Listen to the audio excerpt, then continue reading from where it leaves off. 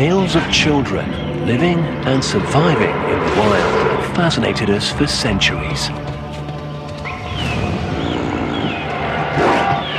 From Romulus and Remus, the mythical twins raised by a she-wolf, to the legendary Tarzan of the Apes.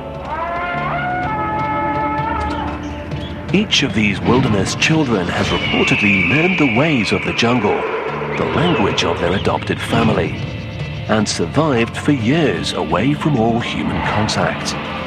But are these stories fact or fiction? Could a child really survive alone in the forest? Would animals care for rather than eat a human baby? And if left in the wilderness, can a child forget its human origins and transform into a wild beast? Experts in the field of psychology and animal behavior examine the world's most compelling cases, from the boy in Uganda who lived with monkeys, to the girl in the Ukraine raised among dogs, and the Australian woman said to run with kangaroos. Skeptics and believers alike will attempt to uncover the truth behind feral children.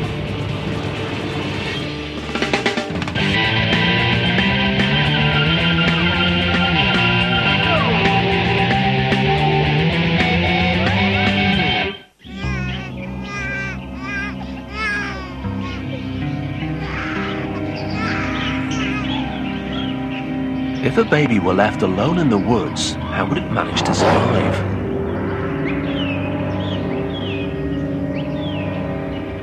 We humans come into the world completely helpless. We know little more than how to breathe and how to cry. Animals, on the other hand, stagger to their feet within minutes of birth and begin to take on the world.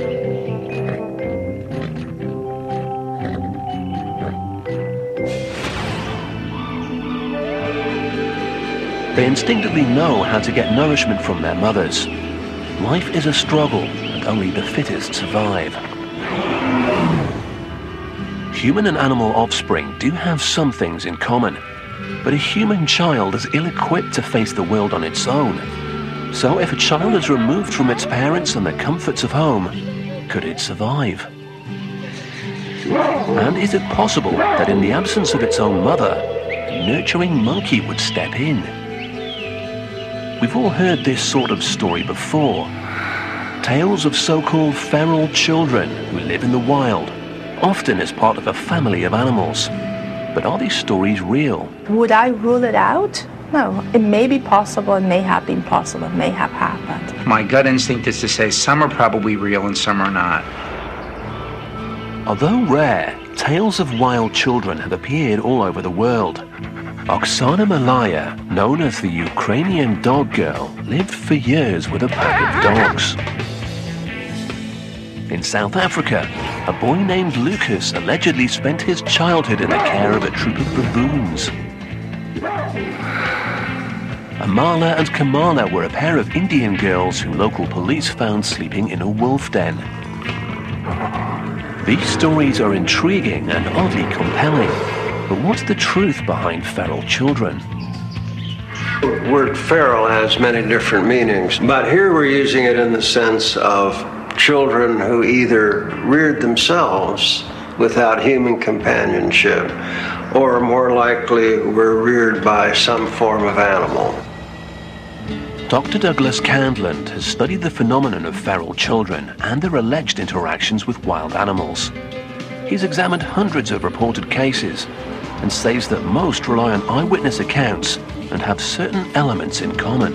We all said the child had no recognizable speech. The child did not like to eat cooked food. The child walked on all fours. So, quite properly, people were saying this is a, a wild child.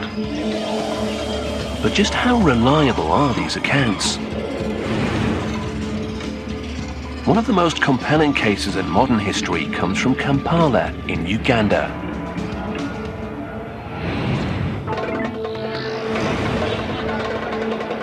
Kampala is home to over a million people who, like most city dwellers, face a sometimes difficult commute to work.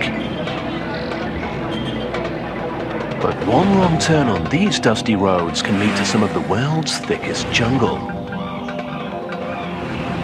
Two hours south of Kampala, on the edge of Africa's untamed forests, lies Bombo Village.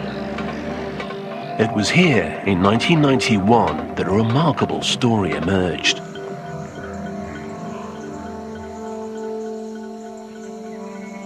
A woman walking through the African brush one day was startled by a group of vervet monkeys chattering in the trees. The monkeys were a common sight around the outskirts of the village, often stealing food and bothering the locals. But as the woman watched them, she caught a glimpse of something that terrified her. A dark form crouching in the branches. The creature that caused her to run was a human boy. Later, when the woman realized what she'd seen, she went back into the jungle and brought the child home. News of the strange boy quickly spread. The local villagers felt sorry for him, but they weren't quite sure what they were seeing. Everybody came to see the new boy who had hair all over and he had no toe. The toe was bitten by monkeys. Children from the village recalled that when the boy first arrived, he was as wild as an animal. He could do scratch you like uh, you are not a human being. You know how a cat does? He could scratch you like a cat. They decided that the boy must have been in the forest for a while. Apparently, he hated to be kept indoors, wouldn't eat cooked food, and didn't like to wear clothes. And he wouldn't or couldn't talk. But the boy did seem to be able to communicate with the vervets and even moved like a monkey. He was moving like this, just like a monkey. Before long, locals were calling him a real life Tarzan, the fictional boy who grew up in the jungle.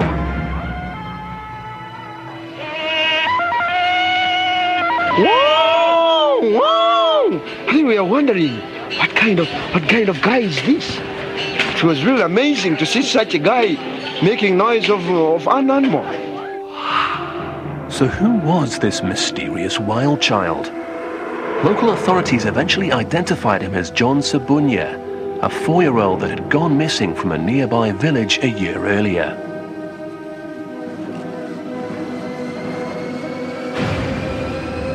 To this day, the villagers believe it was the monkeys that helped this defenseless child to survive alone in the wild. It's a romantic notion, but is this really what happened? Perhaps the only way to find out for sure is to ask John Sabunya himself what he remembers. When it comes to stories of feral children, it's often hard to separate fact from fiction. Most of the cases occur in remote areas, where the details are poorly documented. And then there's the input of the media. Stories of children raised by animals make for sensational headlines, and the details often get lost in copy that's written to satisfy an audience thrilled by news of the weird. Many such stories eventually turn out to be fabrication. A case in point is this tale of a young woman from Eucla, a tiny outpost on the coast of Western Australia. Eucla isn't the kind of place you'd expect to make headlines. But in the 1970s, a strange story began to make the rounds. A couple of hunters claimed they'd spotted a half-naked young woman running with a pack of kangaroos. She was uh, blonde, not too tall, medium size, but nice developed. The rumor quickly spread, and curious sightseers began to flock to Eucla in search of the kangaroo girl. A busload of tourists did get a glimpse of her, and eventually a photographer caught her on film. The locals nicknamed her the Nullarbor Nymph, and the media had a field day. But the story turned out to be a hoax. The brainchild of four drinking buddies who thought the tiny town of Eucla and its population of 50 could use a little publicity. We had a chance to introduce our secluded place to the whole world. Then kangaroo skins. Then, as the tour buses came into town, the boys would cue the kangaroo girl. And then Denise ran across the roads. All in all, a harmless bit of deception. Nobody was hurt. Nobody died. No kangaroo got killed. So why not make a nice story? The perpetrators of the Kangaroo Girl hoax capitalized on the fact that people are fascinated by shocking and sensational stories. And plenty of people bought into this one. But what about other famous wild child stories? Could they be real? But among the many reported cases, there are a handful that deserve a closer look. Perhaps the most carefully documented account of a feral child came from southern France at the turn of the 19th century. Once there was a child left to himself in the woods. This is a 1970s movie trailer for Francois Truffaut's film Wild Child. It dramatized the story of Victor of Aveyron and was based on eyewitness accounts of the day. Proof of the animal in all of us. One cold morning, just a few days into the year 1800, the citizens of a southern French village woke to find that a wild-looking boy had appeared from the nearby woods. Some villagers claimed to have glimpsed him before, and local legend had it that he'd lived in the woods from an early age. That winter had been particularly bad, so perhaps the boy had been drawn to the village looking for something to eat. Eventually, he was taken in by a budding psychologist, Dr. Jean-Marc Gaspard Itard, who gave him the name Victor. Like John Sabunya, Victor wasn't able to communicate with humans. He disliked clothes, wouldn't eat the food prepared for him, and seemed to prefer the outdoors. We know a lot about Victor because his rehabilitation was closely followed by the leading scientists of the day, who were embroiled in an age-old and fundamental debate. What does it mean to be human? Will a child raised in the wild become a man or a beast? Will a boy living with wolves become wolf-like? Or is he hardwired to be human? Are we essentially the product of nature or nurture? Dr. Adriana Benzaquén, an author and Mount St. Vincent University professor, believes that the driving force behind the scientific interest in feral children centers around the old debate of nature versus nurture. Some scientists believe that to study human nature, you had to somehow peel all everything that had been added by society, by education, and get to the core, get to the natural man. How could you do that? The simplest way to do this would be to take a child, deprive it of any human contact, and see how it develops. But of course, this would be illegal, never mind unconscionable. Indeed, the very idea became known as the forbidden experiment.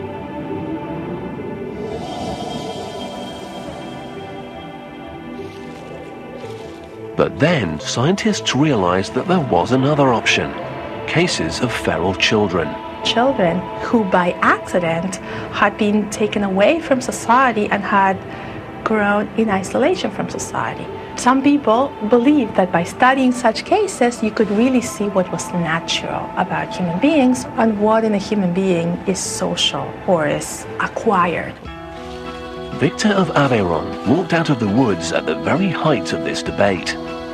In the case of Victor of Aveyron, we have reports of sightings of him dating from at least a year before his definitive capture. There is a, strong possibility that he had been living that way for at least three years and perhaps longer.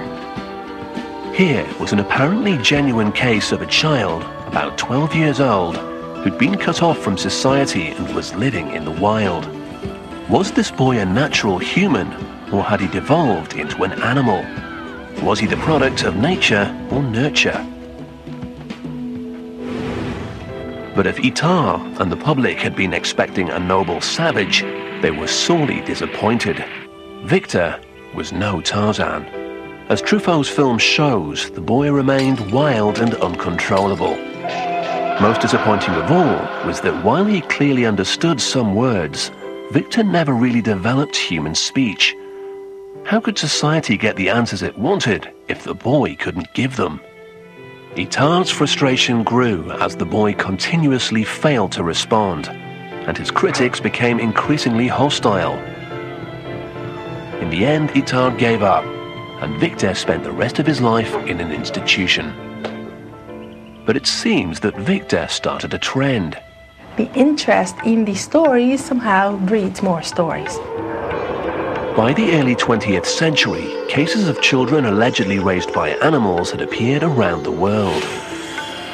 The most famous of these stories emerged from northern India. In 1920, a missionary traveling through the Bengal jungle was shocked to discover two infant girls living among a pack of wolves. Reverend Singh mounted a rescue mission to save the children, in the process killing their adopted wolf mother. He brought the girls back to the orphanage run by him and his wife in Midnapore, determined to give them a good Christian upbringing. The younger girl, Amala, didn't survive. And with the other, Kamala, progress was slow. Singh kept a journal which describes what you might expect from a child raised by wolves. She couldn't talk, walked on all fours, ate raw meat, and scratched at the door to be let out. It took years, but eventually Reverend Singh and his wife claimed to have taught Kamala to behave as a human. The scientific community learned of Kamala's case in the late 1920s when the story hit the British news. Sadly, by that time, Kamala had died of cholera. For decades, scientists debated whether Singh's tales of the wolf girls were true. The one person who could have told them was Kamala herself. But like Victor, she never learned to speak. This appears to be a common theme. Few, if any, children who grow up in the wild are reported to ever learn language. Scientists now believe that nearly all babies are born with the ability to learn to speak. But in order to master language, they have to hear it during their formative years. For Victor of Aveyron and Kamala, the window of opportunity may have closed during their time in the wild, away from human contact. The same appears to have been true of John Sabunya in Uganda. Although the facts of his early childhood are unclear, it appears that the boy was deprived of human contact for a period of between six months and a year. When the young child was brought out of the jungle and into the Ugandan village as a frightened wild boy, he too had trouble making himself understood. When he was annoyed, he used to make a lot of noise, crowing like crowing like a, like an animal. His behaviors were different from our from ours. And then we wanted to know how, how is this boy communicating. He never knew how to speak, really. So did John ever learn to speak? And if so, what did he reveal about his time alone in the jungle?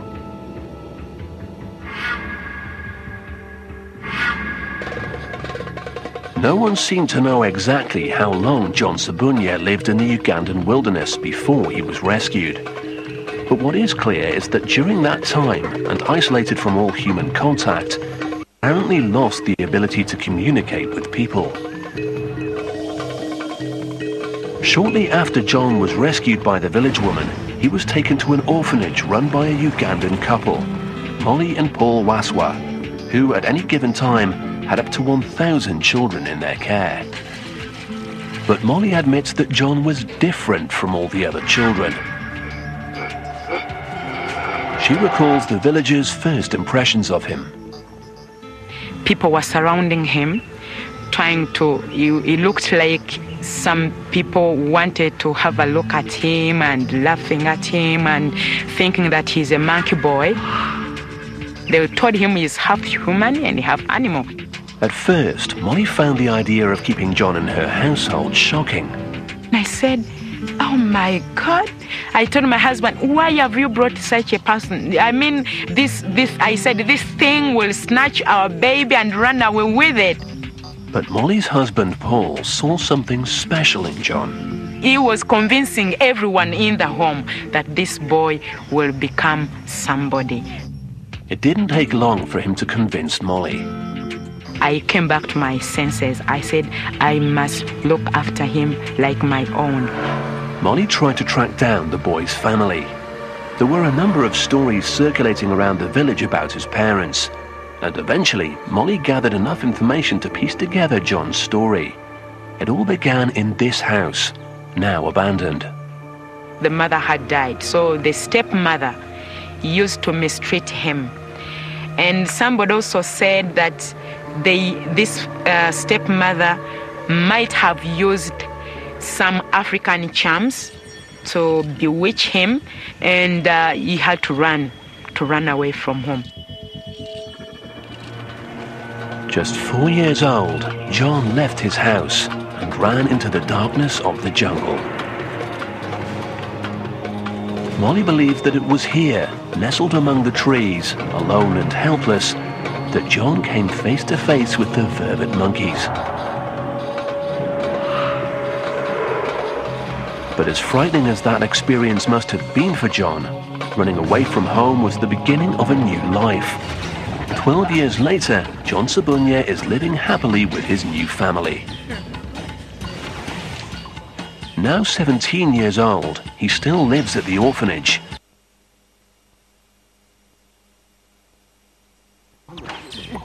In the years since he left the jungle, he's made tremendous progress. But to this day, he has trouble learning. John functions at a kindergarten level, and he speaks and understands only a little Ugandan and English. But in other ways, John has excelled. His love of running led Molly and Paul to enter him in the Special Olympics, and this has now become a passion. One of the key people in John's life is Solomon M. Weber, who acts as his big brother and mentor. Over the years, Solomon has learned to interpret John's broken language. John has become used to the urban world of Kampala. But we've asked Solomon to bring John back to the place where he was first found, to see if he remembers anything about his time in the wild. John's a bit nervous, but there's one thing he remembers clearly. Well, we're here with John, and uh, he's been trying to explain to me that this used to be his home. This is the very tree he was found, but it was a bit short when he could climb it. So this is the very tree where he was found. Solomon asks what else John remembers. John remembers more of the young monkeys, the small monkeys. He says that most of his time during the time, they were spending that time on eats. They were ever eating whatever they had. The reality of being lost in the jungle would surely have been frightening for a small boy. But that isn't what John seems to remember. Instead, he recalls playing with the monkeys. John says that uh, when he was with the small monkeys, they used to hide and each one had to go and look for another one. So they were playing. It was kind of their game. So that's the, the thing they used to, to do. Eating and playing are what we might expect of the memories of a four-year-old child. But are these memories real? And would monkeys that encountered a young child in the woods really take care of him? John isn't the only child allegedly raised by monkeys. In the early 1900s, a notorious story emerged from South Africa. The strange tale of Lucas, the baboon boy. Near the small town of Kunap, police apprehended a wild boy they claimed to have found living among a troop of baboons. The officers said he behaved like a wild animal. He ran on all fours, he bit them, and he shrieked like a baboon. The boy was institutionalized and eventually put into the care of a local farmer, who employed him as a farmhand and named him Lucas. But the same officers then declared they discovered the origins of this strange boy. They claimed that Lucas had been stolen by baboons when he was just an infant from a village nearby.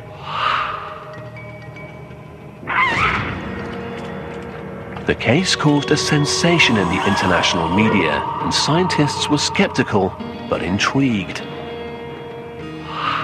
Renowned anthropologist Dr. Raymond Dart even sent a colleague to Kunap to interview the then adult Lucas in an attempt to see if there was anything behind the claims that he was the real-life Tarzan of South Africa. The idea of baboons raising a human infant sounds pretty far-fetched to 21st century experts, not least because we now know that baboons can be fearsome predators and their troops enforce a strict social order. But there are several modern-day incidents caught on tape that suggest other higher primates might at least protect a human child. In 1996, a three-year-old boy fell into the gorilla pen at the Brookfield Zoo in Chicago. Keepers tried to drive the gorillas back from the unconscious child. The crowd watched in horror as they saw Binti, the dominant female of the group, pick him up. But instead of harming him, Binti protected the boy, holding him in her arms until human help arrived. The images are compelling, but holding an unconscious child isn't the same as caring for another species. Dr. Stephen Suomi from the National Institute of Child and Human Development in Maryland studies the biobehavioral development of another primate species, the rhesus monkey and he thinks the idea of cross-species nurturing is a theoretical possibility. We know that rhesus monkeys will form relationships with other animals, dogs, wild cats, horses, so it's possible, I would think, in theory, for these monkeys to form relationships with people uh, over the long term as well. Dr. Suomi has observed a distinct pattern of response from the monkeys when it comes to human contact the monkeys that we study here uh, know all of the caretakers, they know the veterinarians, they know the individuals who collect data. They make decisions regarding the gender of the human they're interacting with, so they're more cautious around adult males than they are around adult females. And they make great differences in terms of the age of the humans that they're interacting with. And most interesting is the reaction of the monkeys to children. When my staff members bring their young children to watch the monkeys over the weekend, the monkeys go crazy. The adult males go through rituals as if to try to entice these little kids to join their group, whereas they wouldn't give adult humans any bit of their time or energy. But Ugandan expert Peter Apell is highly skeptical that any primate would nurture a human child in the wild. He thinks the zoo incident is an aberration. From what I know about animal behavior, that is a very unique case because their innate instinct would be to attack or kill this infant. Peter Apell is a veterinarian and Ugandan wildlife specialist. He works with a variety of primates, including vervet monkeys, the species that supposedly cared for John. And Apell has a slightly less romantic explanation as to how John survived with the monkeys. Vervets are by nature a trash species. They collect much more than they could eat. So probably what happened in this instance is that John survived on the leftover food that the vervets must have been collecting and couldn't finish. John would probably pick what was left over of that. This shifts the interpretation of the relationship between John and the monkeys. It was perhaps not the vervets that cared for John, but John who used them to survive. And as Peter explains, there's a clear difference between tolerance and caretaking. To be nurtured means that you will be fully accepted into the structure of the society. John being human, it's very unlikely that he was nurtured. He could have been accepted or even just tolerated. Nurturing is not possible. But what led the four-year-old boy to the monkeys in the first place? Was it human survival instincts, a need for food, or was he in search of physical contact? Part of the allure of the wild child myth is the bond that occurs between human and animal. This is what makes these stories so compelling. But would a child deprived of human contact actually substitute an animal for a parent? Several recent cases seem to suggest they would. In the early 1990s, a story emerged from the Ukraine of a young girl living on a rundown farm. Her name was Oksana Malaya, and she was apparently raised by dogs. According to this Russian television report, Oksana was just three years old when her alcoholic parents first left her outside with the dogs. For five years, she slept in a kennel and lived as a dog, running on all fours, barking and eating with her canine companions. To observers, it seemed as though the young girl had turned to the dogs for affection when her abusive parents failed her. And Dr. Charles Nelson III, a professor of pediatrics at Harvard Medical School, believes they could be right. It may be that we humans are genetically programmed to seek affection, or at the very least, a stable relationship with another living thing. The question of whether we're hardwired to seek affection is a very interesting one, and the answer seems to be yes. In the case of Oksana, if this little girl was just left with dogs, she's going to form a relationship with those dogs. If we have this biological imperative to form a relationship, if your only option is a dog, you'll form a relationship with the dog.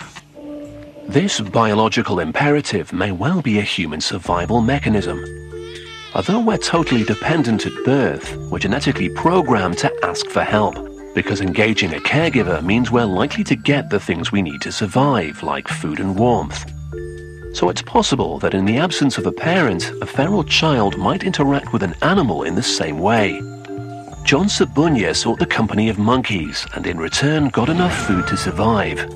And Oksana Malaya looked to a pack of dogs for comfort, and they provided warmth. Oksana was finally rescued at the age of 13 and placed in a foster home. But what effect does this kind of extreme experience have on a child? Modern science has discovered that a young child's brain is highly impressionable. The developing brain cells are primed and ready to be sculpted into crucial neurological centers. One bundle of cells will become the language center, while others will govern the senses, emotions, and personality. The sculptor is the youngster's environment, everything they see, hear, and experience. When you see a parent interacting with a child, not only are you seeing a happy baby, but you're seeing this sculpting process at work, hardwiring healthy neurons to build a biologically balanced brain. One of the things we know about brain development is that the brain depends critically on experiences. For it to grow and develop normally, it assumes that the environment is going to support it, presenting all kinds of experiences to the child. If those experiences are absent or abnormal, then you assume that the wiring of the brain has become abnormal or miswired. From the age of three, Oksana was exposed to predominantly canine experiences, and as a result, she learned to act and respond like a dog. And John Sabunya apparently lost the critical learning and speech ability during his time in the jungle.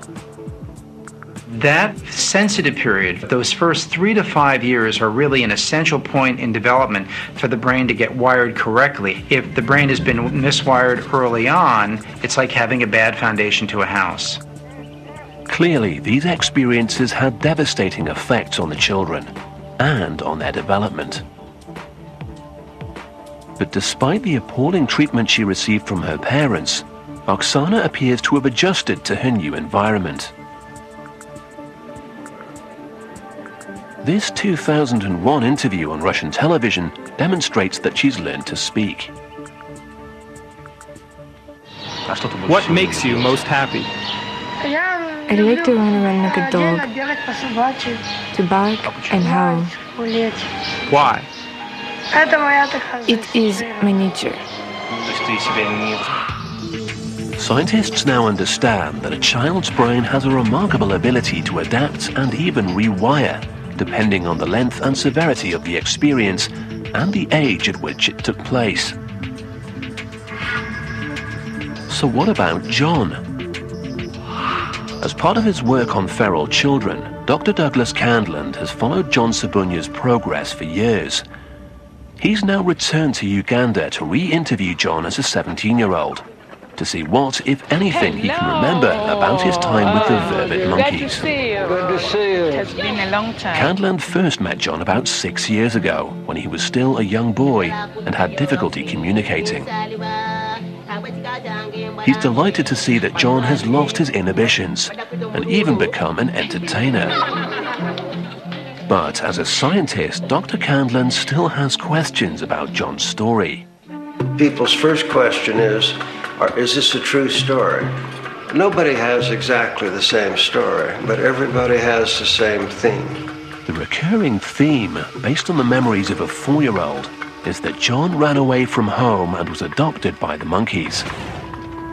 Candland wants to examine John's story from the perspective of an animal behaviorist to ascertain exactly how John interacted with the vervets. He's asked John, with Solomon at his side, to piece together what he remembers. When you lived in the forest, you said there were many animals there. Were there large animals as well as small animals? He said that there were big monkeys and small monkeys. There were also snakes and uh, antelope and some other animals. Can you show me the monkeys that you saw there? Well, he said that the first two, he saw them. John has no trouble identifying the vervets. But Candland wants to establish how John fitted into the complex hierarchy of the vervet community. Mm. Vervet monkeys will spend the afternoon grooming each other. It's about establishing a relationship. It's kind of like talking uh, among human beings. Did you groom monkeys? Well, the monkeys groomed each other, but not John. This suggests that John was a bystander, not a part of the monkey group. Next, Candland tests the theory that John wasn't fed by the monkeys, but rather scavenged for their leftovers. Do you mean they threw food and you collected it? But according to Solomon, John is emphatic about this. They collected food and brought food to him. Sometimes they could, hand the food into his hand, but none of the monkeys got the food and threw the food away. John and Solomon also tell Dr. Candland that the monkeys brought water to him. But this is how they made the thing, and they handed the water. To but it was the monkeys who made yeah. who made this, yeah. not John. Not John. The monkeys. Dr. Candland, a 40-year veteran of working with primates, is not convinced. Few primates are capable of tool use, and vervets are not among them. Well, I think we are dealing here with some childhood memories that, like all childhood memories, become elaborated over time. I think he did spend much time with monkey troops. I think he did find food that they had cast aside. He may well have found banana leaves that were still had water in them from rainstorms and assumed that the animals themselves had done the fashioning. So when you ask, was John raised by monkeys, I prefer to say he was raised to some degree with monkeys, but I don't believe the monkeys uh, reared him in the usual sense of that word. In many ways, John seems to have survived his early experience of being lost in the jungle. But has he overcome the potentially more devastating tragedy, the abuse he suffered during the early years of his life, at the hands of people who were supposed to protect him? John Sabunya has obviously come a long way since his days in the jungle. The nurturing home of Molly and Paul Waswa has given him a second chance. But he still has difficulties with learning, coordination and language. Is this because he was alone in the jungle during the crucial development stage, when most children learn to speak? Or has something else affected John's recovery? With Molly's permission, we take John to get a complete brain scan in Uganda. At the International Medical Group in Kampala, a slightly nervous John undergoes a computed tomography scan that will produce images of the anatomy of his brain. Do you see that side? The scan could identify any anomalies or possible damage done to the brain and help pinpoint the cause of John's continued learning difficulties. Dr. Jay Giedd, a neuroscientist from the National Institute of Health in Maryland, will help to analyze the results. Dr. Giedd is one of the world's preeminent specialists in brain development research. And the results reveal something unexpected.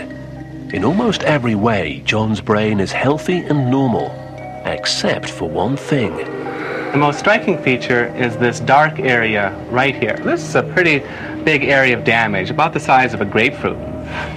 At some stage in his young life, John suffered a massive blow to the head. A pretty uh, major trauma to the brain. And the location of the trauma has important implications. This part of the brain is ground zero for language function. Understanding language, learning language, it's almost completely wiped out here. just looking at the picture, not even knowing anything about John, I'd say, ah, this is a person who's probably going to have a lot of difficulty with language. But the good news is much of the rest of the brain is, uh, is fine. And so this should allow uh, John to enjoy life and to have an imagination and to have social interactions. The critical question is when did this injury occur? If the damage to the brain happens very early in brain development, then there's still a chance for the brain to find alternate routes, alternate connections, alternate wiring. But if the damage happens after that's already in place, then it's much more difficult to recover function. And in looking at John's uh, brain scans, it looks to be that the second one happened, that the wiring was already established for the language centers and then was damaged. We may never know exactly when John received his injury, but we do know that it was the trauma to John's head in early life, not the effects of living in the wild, that caused the language difficulties John has today. Sabunya's case demonstrates is that the effects of living in the wild reveal only half the story. The other half is how these children ended up there in the first place. Collectively, when I think of these feral children, it just brings to mind abuse and neglect. These children wind up living in the wild because they fled a bad situation. And that makes it more difficult to understand how that living in the wild will affect their brain development or the behavioral development because they let off life with a pretty bad beginning.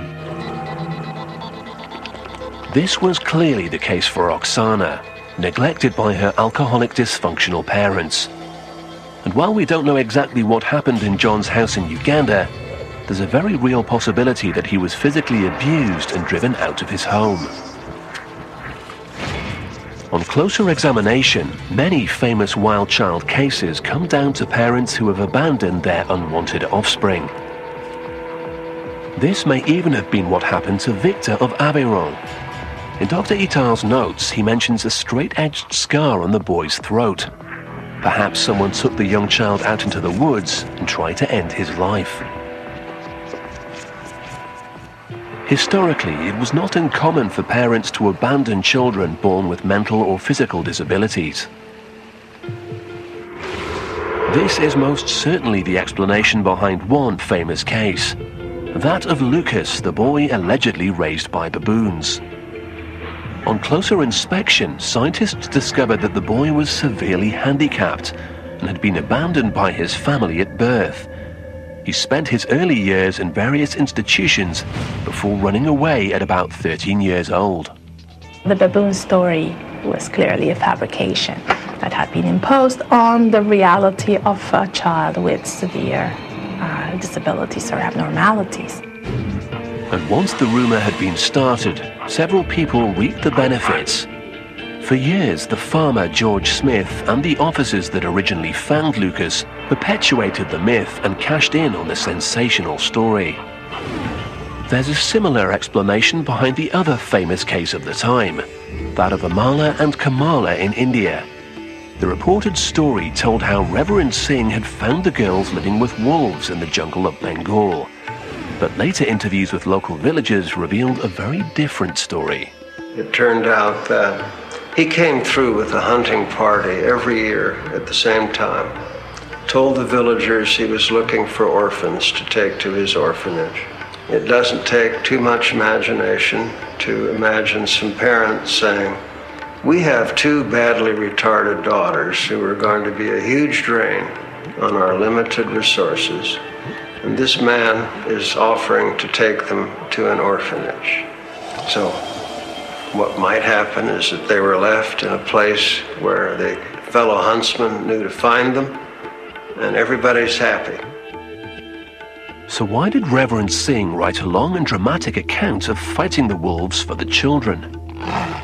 Adriana Benzaquén thinks that his motives were probably simple. He had a group of children that he was responsible for, and the orphanage was always short of cash. Yeah? And perhaps by saying that two of his children were wolf children and bringing attention and money into the orphanage might have been a motive.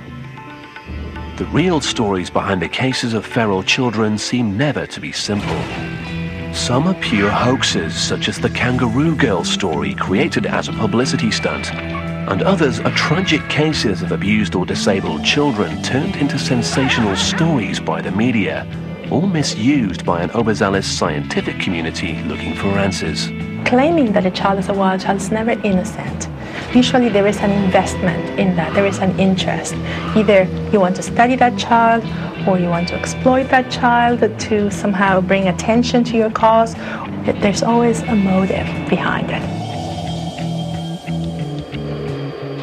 With Oksana, Victor, and John Sabunya, the important stories may be those of the abuse and neglect they suffered at the hands of their human caretakers. And perhaps the myth of the wild child reflects our inability to accept the failings of our so-called civilized society.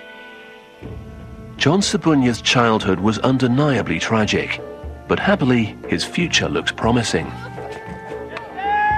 He continues to compete in the Special Olympics, and he performs with the Pearl of Africa Children's Choir.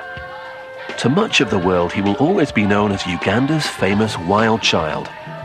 But the real story here is that of a young man's resilience and grace against incredible odds.